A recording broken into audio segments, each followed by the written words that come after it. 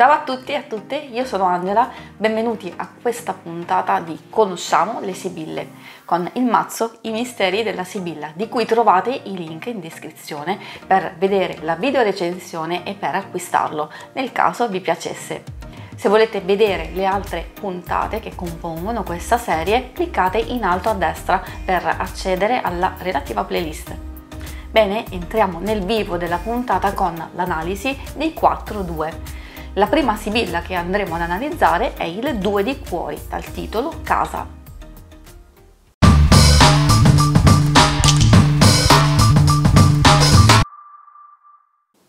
L'immagine che vedete qui a fianco raffigura una casa vista dall'esterno circondata da un giardino. L'inquadratura suggerisce a livello simbolico un senso di protezione, un rifugio sicuro e lontano da occhi indiscreti. Fisicamente la casa rimanda alla famiglia, all'intimità del soggetto della lettura. I significati principali della carta sono serenità, stabilità, protezione e piacevoli sorprese. Gli aspetti al dritto si riferiscono a tutto ciò che dona sicurezza ed equilibrio. Oltre ai luoghi conosciuti e la propria casa, ci sono anche tutti i luoghi dove sentirsi come a casa e a proprio agio. I rapporti sono sereni o in equilibrio, può esserci un nuovo amore o una pacificazione e riconciliazione con ritorno di una vecchia passione. Le sorprese possono riferirsi ad un incontro casuale o all'arrivo eh, imprevisto di qualcuno. In un momento difficile si può ricevere un conforto o protezione a livello morale o anche economicamente. In campo lavorativo può esserci l'arrivo di denaro o una promozione. Gli aspetti con la carta al rovescio o in ambito negativo di un metodo sono uno stato di chiusura e insoddisfazione in generale, la nostalgia, senso di colpa per dei malintesi con le persone più care, frustrazione perché si è obbligati a frequentare luoghi poco piacevoli, si ha voglia di certezze che purtroppo al momento della lettura mancano. Un rapporto d'amore o anche di lavoro può essere complesso e deludente. La casa corrisponde al due di cuori che in primis parla di forti emozioni e sentimenti in amore e che possono sfociare in grandi momenti di gioia, ma può riguardare situazioni vantaggiose anche in ambito lavorativo ed economico tempi di realizzazione coprono, coprono, un periodo che va indicativamente dal 2 maggio al 2 giugno. La carta eh, della casa consiglia di cercare un luogo dove sentirti al sicuro per riflettere, riposare o stare momentaneamente lontano da situazioni difficili. La seconda sibilla che andremo ad analizzare è il 2 di quadri dal titolo Lettera.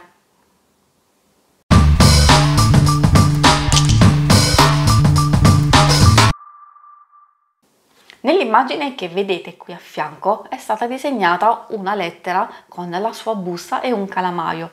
Il simbolo è molto semplice da interpretare e si riferisce alla comunicazione.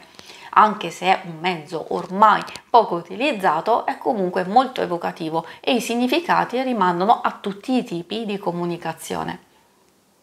I significati principali della carta sono ricezione di tutti i tipi di notizie, scambi di idee e richiesta di informazioni. Sempre collegata alle notizie, gli altri aspetti al dritto riguardano inviti e documenti che possono portare a decisioni importanti da prendere. Sono in arrivo avvenimenti se positivi o negativi saranno specificati dalle carte vicine. Dopo tanta attesa e impegno nella vita sentimentale o nel lavoro ci sarà presto soddisfazione e la realizzazione di un progetto, forse anche grazie all'aiuto di qualcuno. Gli aspetti con la carta al rovescio o in ambito negativo di un metodo sono l'arrivo di notizie spiacevoli, momenti di incertezza e preoccupazione. In amore ci sono dubbi, segreti o relazioni nascoste. Altre difficoltà possono essere causate anche da situazioni che non si sbloccano, cattiva gestione delle proprie finanze e spese eccessive. La lettera corrisponde al 2 di quadri, che indica sempre la ricezione di notizie negative o positive e inoltre parla di colloqui e conversazioni. Possono esserci due opportunità di guadagno o di lavoro e novità che bisogna valutare senza fretta. I tempi di realizzazione sono abbastanza brevi, nell'arco di pochi giorni. Se chiedete quando avverrà una, un evento soggetto della lettura, i tempi vanno dal 28 aprile al 2 maggio. Questa carta consiglia non aver fretta di agire e prendere decisioni. Prenditi il tempo per riflettere, raccogliere informazioni e aspettare il momento giusto. La terza sibilla che andremo ad analizzare è il 2 di fiori, dal titolo Superbia.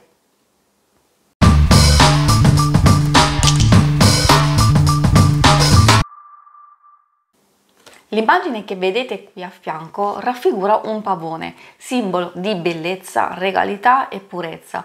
Spesso però viene associato alla vanità, alla superbia e alla lussuria. Probabilmente il fatto che la sua coda sia chiusa può significare una chiusura nei confronti degli altri o delle situazioni. Per questi motivi questa carta non è semplice da interpretare. I significati principali della superbia sono successo, orgoglio e sorpresa. Gli aspetti al dritto riguardano una sana ambizione che porterà ad ottenere successo e soddisfazioni.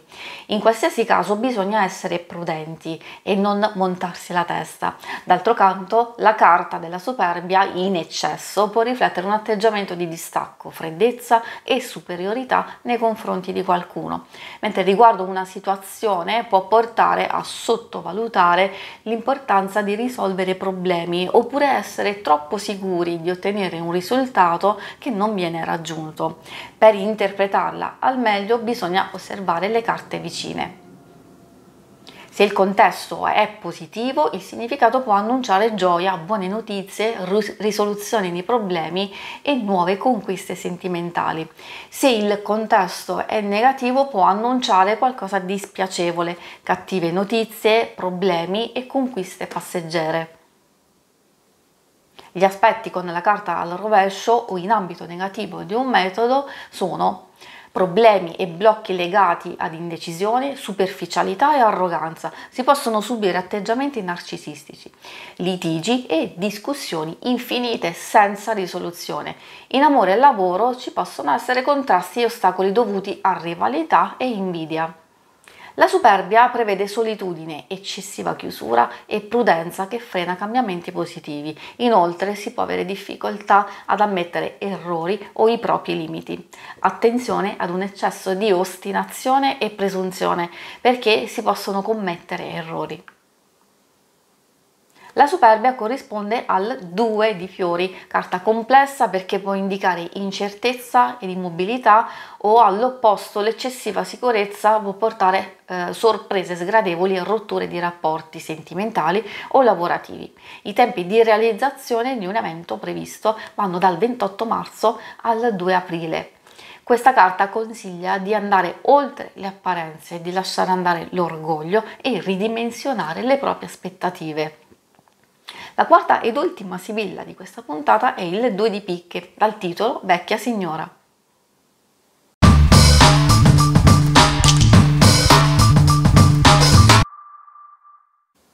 L'immagine che vedete qui a fianco rappresenta una donna anziana, dall'aspetto dolce e gentile, in alcune letture puoi indicare una persona molto stretta al consultante, eh, come la nonna, una madre, la zia o semplicemente una conoscente giovane ma con una mentalità antiquata. A livello metaforico si riferisce a tutto ciò che è vissuto e passato. I significati principali della carta sono la valutazione obiettiva, dei progetti accantonati da riprendere, ricevere una visita in attesa, gli aspetti al dritto della vecchia signora rivelano tutti gli avvenimenti legati al passato, che in un certo senso possono ritornare perché non risolti o si tratta di andare a recuperare esperienze già vissute e che possono essere utili nel presente. Può portare alla conclusione di situazioni difficili e conflittuali, soprattutto nelle relazioni, ma si dovrà comunque eh, interpretare in base alle carte vicine perché in un contesto positivo è in arrivo un periodo sereno, piacevoli notizie e visite inattese, buoni risultati da vecchi progetti. Con abbinamento negativo invece porta difficoltà a risolvere problemi e inoltre ci possono essere dissapori ostilità di vecchia data con persone care o nell'ambiente di lavoro. Gli aspetti con la carta al rovescio o in ambito negativo di un metodo eh, sono rigidità, debolezza sia fisica che soprattutto mentale, critiche eccessive e troppo esigenti e può segnalare la fine di qualcosa di positivo o di un rapporto d'amore o di amicizia. Infine ci possono essere degli influssi esterni negativi che non dipendono dalla propria volontà e quindi bisogna essere molto prudenti. Una particolare attenzione deve andare alle persone delle quali ci si fida perché eh, potrebbero rivelarsi sleali e false. In qualsiasi caso, per evitare errori, meglio non confidarsi e non rivelare cose private molto importanti. La vecchia signora corrisponde al 2 di picche, che come tutti i due porta sempre un aspetto di dualismo e di incertezza. Le carte vicine possono dare ulteriori informazioni in aspetto positivo, con equilibrio, scelte corrette e sincerità, altrimenti si può parlare di dubbi, contrasti e scelte non eque. I tempi di realizzazione coprono un periodo che va dal 28 giugno al 2 luglio. La vecchia signora consiglia di rinnovare vecchi schemi che legano al passato o che non permettono una crescita personale o l'evoluzione positiva di una situazione. Bene, spero di essere stata utile ed esauriente. Se volete vedere all'opera le sibille di cui abbiamo appena parlato, in questa schermata trovate la playlist con l'oroscopo settimanale in cui le utilizzo. Vi ringrazio per l'attenzione e vi saluto. Ciao!